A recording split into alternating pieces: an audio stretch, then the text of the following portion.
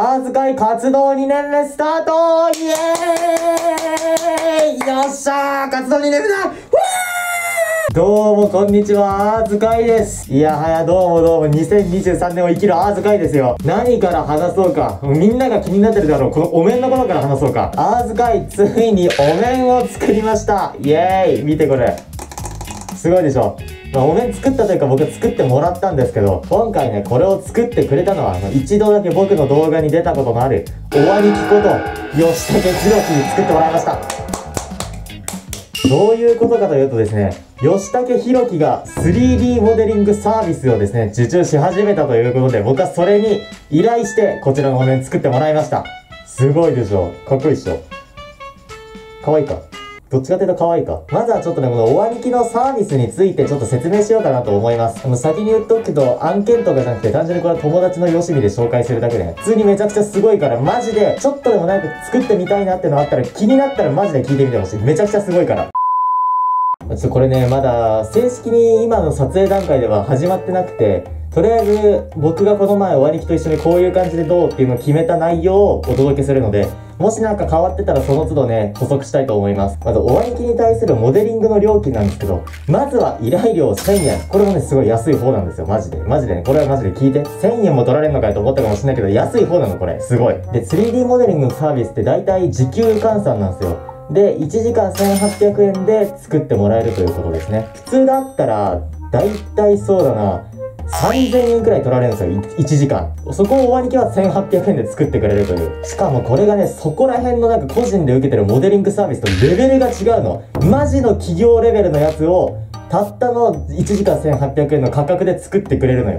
やばくね？だってさ、まあ、名前あえて企業の名前出さないけど、サービスのモデリング10万円かかるからね。やばくない ?10 万円からだからさらにそれ以上かかるってことだからね。それをたったのね、1時間1800円で受けてくれるのがこの吉武弘樹のサービスなんですよ。これすごいこれマジですごいことです。皆さん。ちなみにあの、依頼料の1000円は後から返金はできません。もう振り込んだらその時点で、もうその1000円は返すことはできません。まあ、それは当たり前だよね。人質みたいなもんだから。1時間1800円なんで、えっ、ー、と、依頼料の1000円と合わせて、最安で2800円からモデリングができると。だから簡単なものなら2800円ですごいクオリティの高いものが出来上がっちゃうってこと、これすごいでしょ？これすごいんだよあのね、俺もね、3D モデリングもともとやってて、まあ僕はすっごい下手くそなんですけど、あ、やばい、エッチエッチエッチ。僕はもともとすごい下手くそだったんですけど、お兄貴の、だからもう、だからこそわかるお兄貴のこのモデリングの技術の凄さよ。半端ないんだよ、マジで。いや、エッチエッチ。ただ、モデリング技術がすごいとは言っても、使うソフトによって向き不向きがあって、吉武弘樹の使うソフトだと、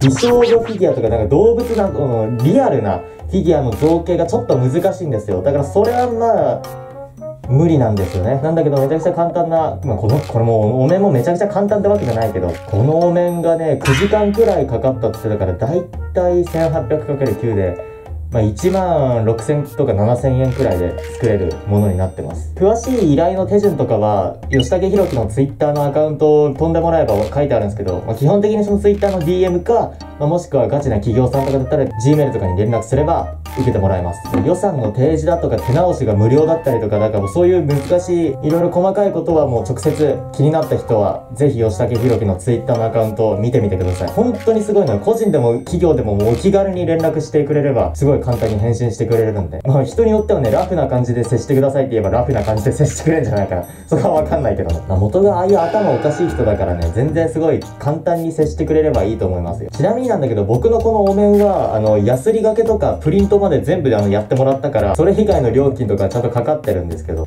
これ見て。これ外れんの。ちなみになんですけど、このお面、目の形とかも変えられるんですよ。これらはそうですね、サムネイルの撮影の時とかに使っていきたいなと思ってます。まあ、皆さんご存知の通り、今までアーズ会はスマホ編集でね、顔面の追っかけを一つ一つキーフレームで細かく細かくやってたんですけど、今回からお面になるあのパソコン編集なんで、完璧に普通の YouTuber と同じ環境で編集ができるよっしゃーしばらくはこのお面慣れないと思うんですけど、頼むからもうこれに関しては文句言わないでほしい。めちゃくちゃ大変なんですよ、あれ。あの顔追っかけ練習めっちゃ大変なの。分かってくれみんな。ちなみにあの、ショート動画ではこのお面使わないです。あの、ショート動画今まで通りスマホで編集するし、スマホで顔面ね、動かす編集でやるんで、そこは安心してください。通常動画のみこのお面を使っていきます。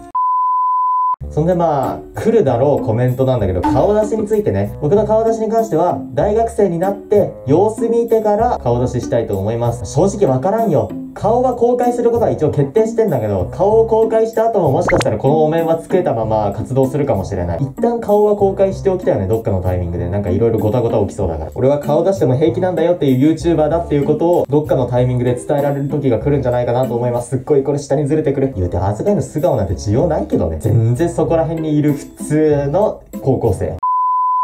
で、そう、もう一つあったカメラ買ったのよ、新しく。このカメラはですね、お兄貴とこの前このお面受け取りに遊びに行った時に、ノリで買いました。上野動物園行って初詣した後、ヨドバシカメラ行こうぜ、つって、秋葉のヨドバシ行って、ノリで買った。その場で。何の説明も見ずに買った。さすがにちょっと後悔してるよね。もうちょっと色々ちゃんと見るべきだったなって思った。僕が今まで使ってたカメラっていうのがね、5万5千のジンバルカメラってやつなんですけど、この動画で詳しく説明してるんで、ぜひ見ていただきたいんですけど、すっごい白飛びに悩まされてたの、私、あずかいわ。それがまあなくなったってだけでもだいぶストレスは減ったよね。でもちゃんとしたビデオカメラになったからね。まあおかげさまで、お金はなくなったけど。でもこれ勘違いしないでほしい。アーズガイは自分の娯楽のために1円も使ってない。全部、このチャンネルをこれから運営していくための必要経費に消えてる。では、ここからはちょっと真面目な話をしていきたいと思います。まずはですね、僕は2022年の1月1日から活動を開始しました。つまり、今年の1月1日から活動2年目がスタートしたということですね。ってことで、2022年アーズ会活動1年目の反省をしていきたいと思います。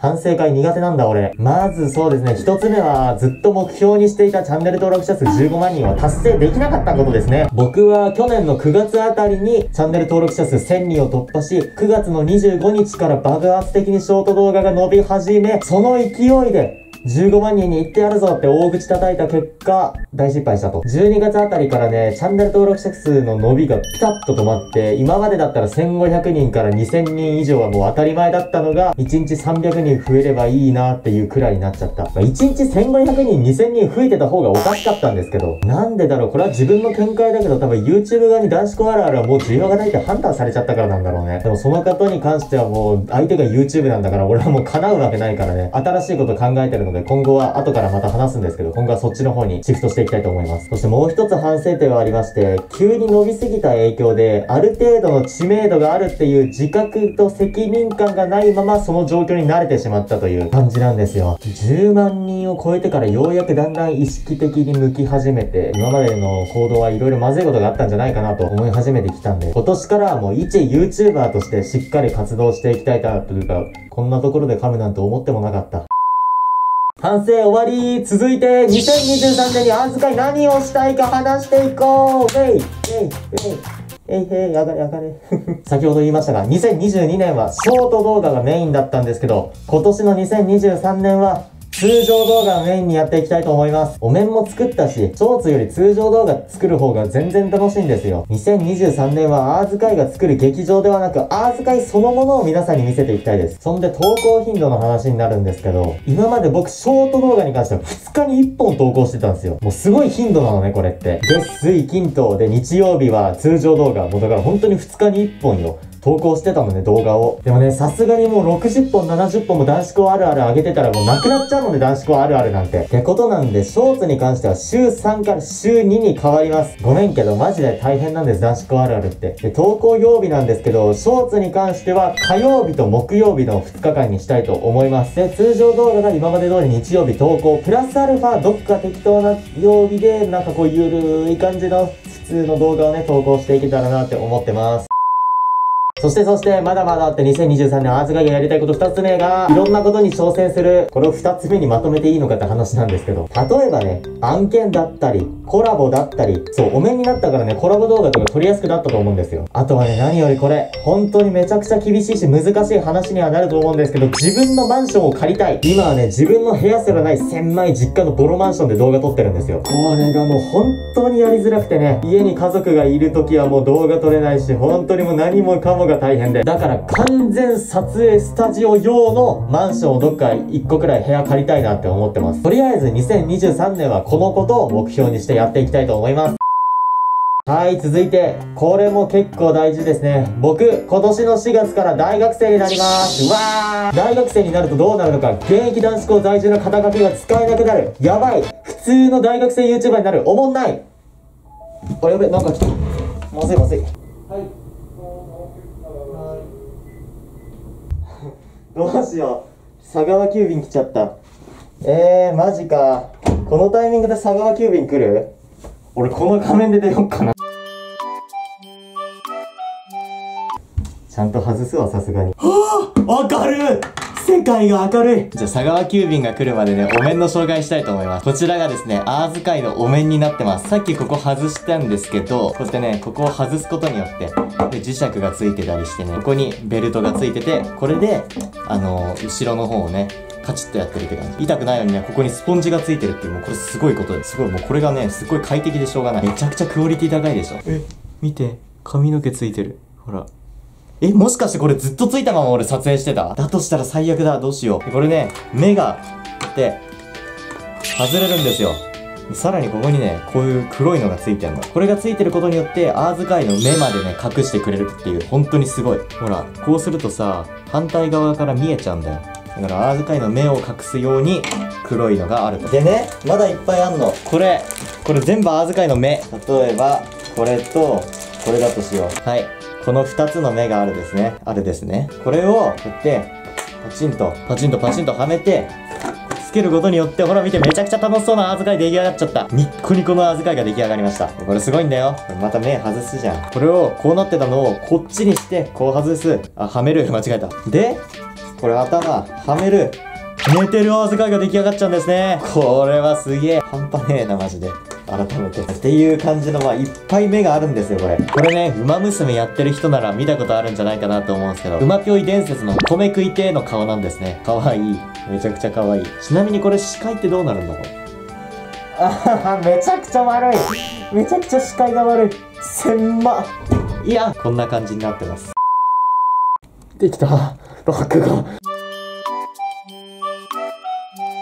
え、なんかさ、え、気のせい画面オレンジじゃね？え、画面オレンジじゃない？なんか。え画面オレンジじゃない？気のせい。気のせいってことでいい？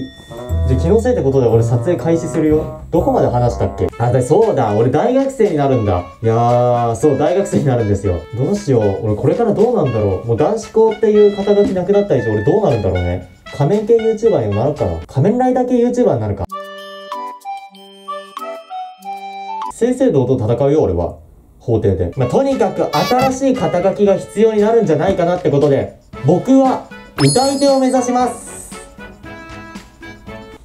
実はね、去年の12月からボイトレに通って、今年の1月からトレーニングが本格的に始まるっていうことなんで、すごいでしょ？これで歌上手くなって、歌ってみたを投稿していけたらなって思ってます。でも歌ってみた投稿するアカウントは別で用意するから、そこだけはしばらくお待ちください。えー、ということで、アーツ会2022年活動2年目、面白い動画を投稿したいということで、去年一番伸びたアーツ会の動画は何だ？そう質問コーナーですってことで、この動画のコメント欄で質問を募集していきます。一人何個でも OK です。どんな質問でも OK。じゃんじゃん送ってください。そんじゃ、活動2年目のアーズ会をよろしくお願いします。チャンネル登録と高評価も今すぐ押してください。今すぐ。一旦じゃあちょっと、またね、ごめん。この質問コーナーでも同じような手を使ったんだけど、あっちよりはまだ楽だからちょっとお願いやってほしい。一旦画面をちょっとストップして、あ、まだね、まだね。僕がこれ言い終わった後に一旦画面をストップして、高評価をしてチャンネル登録のボタンをポチって押せば完了。それだけで OK。それだけで OK。もうお金も何も一切かかない。もう1秒でできる、1秒で。1秒は持ったか。今後、最高のチャンネルを皆さんにお見せしていっていきたい。あの最悪、またかんだよ。もうなんで俺こんな大事なところで噛むんだろう。本当に死にたい。今後、最高のチャンネルを皆さんにお見せしていけたらなと思いますので、ぜひよろしくお願いします。ということで、ご視聴ありがとうございました。バイバーイもう俺今画面曇ってて何にも見えないんだよな。あ、画面じゃねえや。